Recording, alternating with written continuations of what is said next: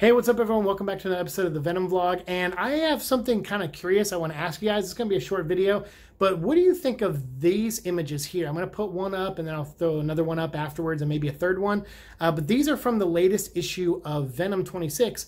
And Eddie Mullet put, pointed this out to me, but he got it from someone else who was talking about it online. And they mentioned, or I think it was Eddie Mullet, maybe it was a swordsman or someone. Someone mentioned to me that the person that Eddie Brock stops uh, at the beginning of issue 26 of Venom looks a lot like Ultimate Eddie Brock. Uh, and I don't know if that's intentional. I, I mean, I it's funny because I did pay attention to the art because it's Iban, you know, uh, Coello's artwork, so I was paying attention to it. But I, I don't think it sunk in how much this character actually kind of looks like Ultimate Eddie Brock.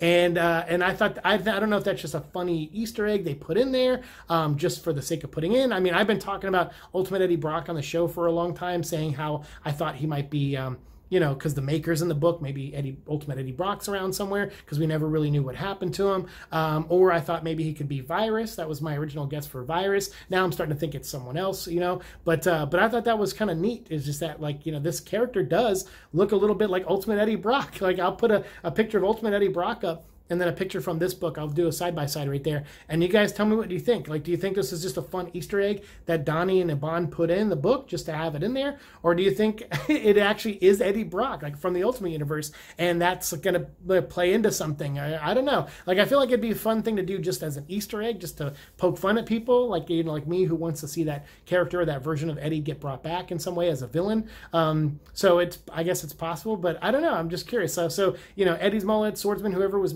it in the comments, uh, I can't remember who exactly, or maybe it was Venom Balor. Someone mentioned it to me, and now I'm conf- confusing myself of who it was. I'm second guessing myself too much. But thank you for pointing that out because I was thinking like, uh, I was like, you know, I took a look, a second glance at that character, and I couldn't remember what for. I was like, ah, I remember looking at that, uh, character, going like, why does this look familiar to me? And then when you pointed out, I was like you gotta be kidding me. Like, I'm like, it is. It totally looks just like him. Uh, so, yeah, I don't know. I just thought it'd be a fun, quick little video and uh, to get your opinion on. So, let me know what you think down below. Do you think it's just like a fun little Easter egg, or do you think it might actually be something that follows the story, or they'll do something later on? Uh, do you think it's random? Maybe they just told Iban, hey, just draw a guy or whatever, and he just drew someone who looked like Eminem, maybe, and, uh, you know, early days Eminem, and that just happens to be like Eddie Brock.